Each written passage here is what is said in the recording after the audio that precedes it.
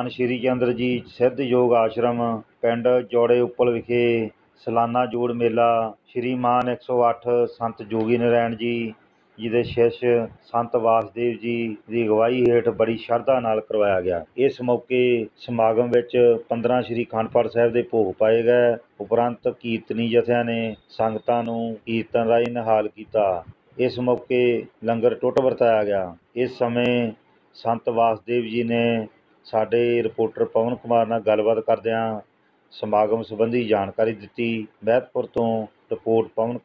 ਸੁਣੇ ਤੇ ਗੱਲ ਕਹਿੰਦੇ ਉਹ ਕੁੱਤਾ ਦੱਸੇਗਾ ਦੋ ਰਾਤ ਜਦ ਜਾਣਿਆ ਵਜ਼ੀਰ ਉਹਦੇ ਟਾਈਮ ਦੇ ਗੁੱਸੇ ਨਾਲ ਆ ਕੇ ਕੀ ਫੜ ਕੇ ਨਹੀਂ ਆਇਆ ਗੁਰੂ ਅਰਜਨ ਦੇਵ ਨੂੰ ਇਹਨੇ ਮਾਰ ਜੋ ਗਨਾਮਾ ਕੀਤਾ। ਭਗਵਾਨ ਕਾਜੇ ਦੇਵਦਾ ਭੈਣਾ ਦਾ ਵਾਪਰੋਣਾ ਉਹਨੇ ਦੇਤਾ ਵੀ ਦੋ ਸਾਲ ਪੁੱਤਰ ਉਸ ਦੋ ਸਾਲ ਨੂੰ ਆਪਣਾ ਪ੍ਰਬੰਧ ਕਰਾਂਗਾ ਦੇਖੋ ਸੰਤੋ,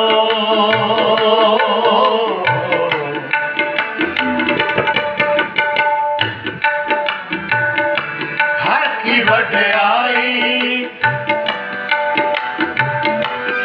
ਦੇਖੋ ਸੰਤੋ ਹਰ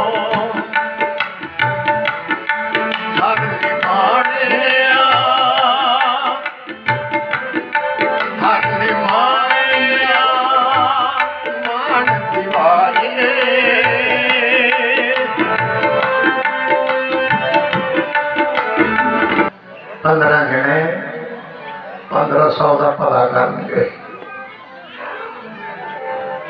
ਤੁਸੀਂ ਇਸ ਗੁਰੂ ਗ੍ਰੰਥ ਸਾਹਿਬ ਦੀ ਲੋਟ ਲਈ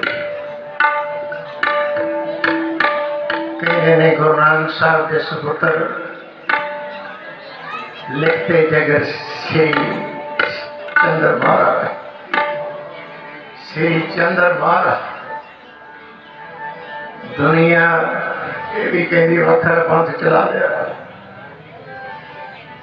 ਪਰ ਜਦੋਂ ਛੇਵੇਂ ਪਾਤਸ਼ਾਹ ਗੁਰੂ ਹਰਗੋਬਿੰਦ ਪਾਤਸ਼ਾਹ ਸਾ ਮਹਾਰਾਜ ਦੀ ਨਿੱਘੀ ਗੋਦ ਵਿੱਚ ਵਿਰਾਜਮਾਨ ਸਾਧ ਸੰਗਤ ਜੀ।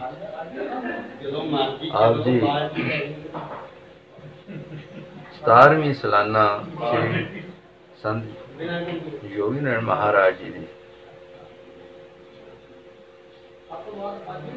ਸਮਾਗਮ ਤਨ ਤਨ ਸ਼੍ਰੀ ਗੁਰੂ ਗ੍ਰੰਥ ਸਾਹਿਬ ਮਹਾਰਾਜ ਦੀ। ਨਿੱਘੀ ਗੋਦ ਵਿੱਚ ਵਿਰਾਜਮਾਨ ਸਾਧ ਸੰਗਤ। ਆਪ ਸਾਰੀਆਂ ਸੰਗਤਾਂ, ਇਲਾਕੇ ਦੀਆਂ ਸੰਗਤਾਂ, ਇਰਦ ਗਿਰਦ ਦੀਆਂ ਸੰਗਤਾਂ, ਸਾਰੀਆਂ ਸੰਗਤਾਂ ਇਕੱਤਰ ਹੋਈਆਂ।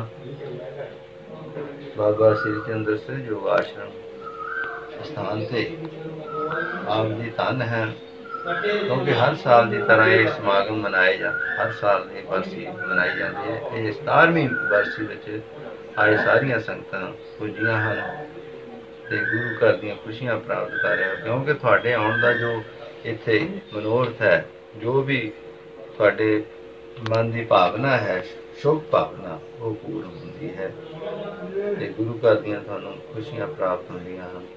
ਕਿਉਂਕਿ ਸਭ ਤੋਂ ਵੱਡੀ ਗੱਲ ਹੈ ਪਰਮਾਤਮਾ ਦਾ ਸਿਮਰਨ ਨਾਮ ਹੈ, ਨਾਮ ਹੀ ਇਨਸਾਨ ਨੂੰ ਪਾਰ ਕਰਦਾ ਹੈ।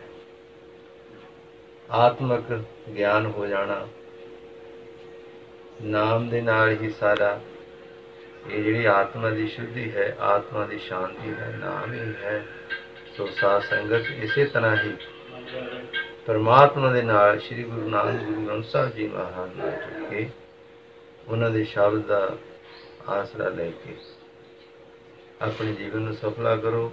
ਆਪ ਜੀ ਸਾਰੀਆਂ ਸੰਗਤਾਂ ਦਾ ਬਾਬਾ ਸ੍ਰੀ ਚੰਦਰ ਸਿੱਧ ਯੋਗ ਆਸ਼ਰਮ ਵਿਖੇ ਆਉਣ ਦਾ ਬਹੁਤ ਬਹੁਤ ਆਪ ਜੀ ਸਾਰੀਆਂ ਸੰਗਤਾਂ ਦਾ ਧੰਨਵਾਦ ਕਰਦੇ ਹਾਂ ਇਹ ਸਾਰੀਆਂ ਸੰਗਤਾਂ ਨੂੰ ਇਸੇ ਤਰ੍ਹਾਂ ਅਸੀਂ ਸ੍ਰੀ ਗ੍ਰੰਥ ਸਾਹਿਬ ਮਹਾਰਾਜ ਧੰਨ ਬਾਬਾ ਸ੍ਰੀ ਚੰਦ ਜੀ ਦੇ ਅੱਗੇ ਇਹੀ ਪ੍ਰਾਰਥਨਾ ਹੈ ਕਿ ਸਾਰੀਆਂ ਸੰਗਤਾਂ ਇਸੇ ਤਰ੍ਹਾਂ ਹੀ ਪਰਮਾਤਮਾ ਨਾਮ ਦੇ ਨਾਲ ਜੁੜਨ ਤੇ ਸਿਮਰਨ ਦੇ ਨਾਲ ਜੁੜਨ ਤੇ ਸਾਰਿਆਂ ਦਾ ਭਲਾ ਹੋਏ ਵਾਹਿਗੁਰੂ ਜੀ ਕਾ ਖਾਲਸਾ, ਵਾਹਿਗੁਰੂ ਜੀ ਕੀ